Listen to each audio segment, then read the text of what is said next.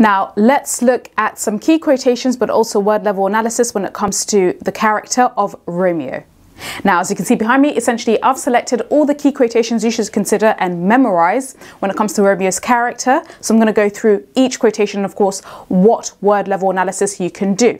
The first quotation is at the beginning in Act 1, Scene 1, when he says, Oh, loving hate.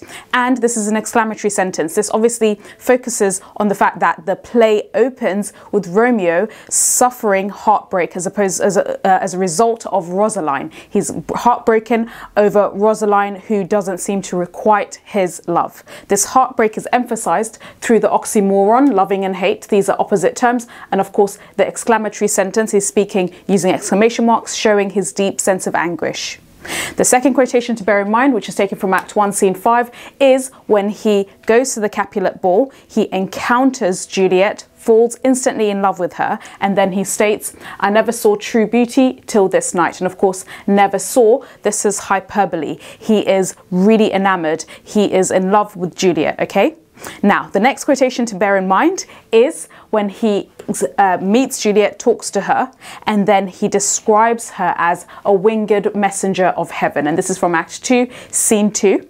Now, in this quotation, of course, this is after he's met Juliet, fallen in love with her, and even if he knows that she's a Capulet, he still wants to have a relationship with her and, of course, also marry her. Now, the key thing to fo focus on with this quotation is winged messenger, which is a metaphor, basically talking about how Juliet is almost like an angel, okay? So, of course, this is showing how quick to fall in love Romeo can really be, how his emotions are so quick to be riled up, and, of course, also it makes us as the audience interested and intrigued because, of course, when the play had began, he was so in love with Rosaline. Rosaline was all these qualities, but suddenly he's now really, really fallen in love and deeply in love with Juliet. The next quotation to bear in mind with Romeo is after he marries Juliet in secret. He marries her, both Romeo and Juliet are really blissfully happy, but of course nobody else knows about their union apart from Friar Lawrence and the nurse. Now, he encounters Tybalt challenging Mercutio. Of course, Tybalt realized that Romeo was at the Capulet ball. He wants to seek revenge. He challenges him to a duel. Mercutio steps in because Romeo refuses. Of course, Tybalt kills Mercutio and Romeo then, of course, in retaliation to protect the honor of his friend who's been been killed, kills Tybalt. He then is unhappy because, of course, this means that he's now going to be either killed or banished, with which Prince Escalus do does make good on. Now he reflects on fortune being unkind to him, fate being unkind, by stating in Act 3, Scene 1, I am fortune's fall. Now, of course, the key um, terms to focus on are fortune and fall, which is, of course, alliteration of F, which shows his emphatic sadness. And, of course, this is also an exclamatory sentence. It shows his emphatic feeling as to now his fate has been completely reversed due to his actions and, of course, due to killing Tybalt. The other quotation to bear in mind with Romeo is when he realizes he learns from Balthazar, mistakenly he learns that Juliet has died. He doesn't, of course, realize that this is an elaborate trick that she set up with Friar Lawrence.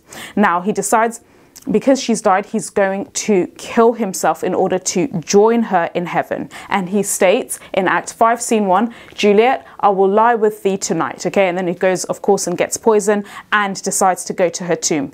The key word level analysis to do for this quotation is the alliteration of W for will and with, and of course, alliteration of also T and T. Okay, so I will lie with thee tonight from Act 5, Scene 1.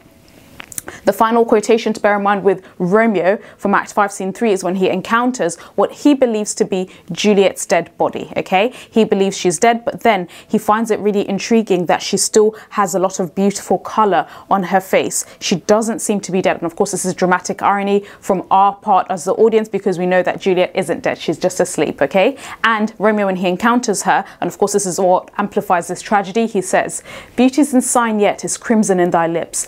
De death's pale flag is not advanced there. This is from Act 5, Scene 3.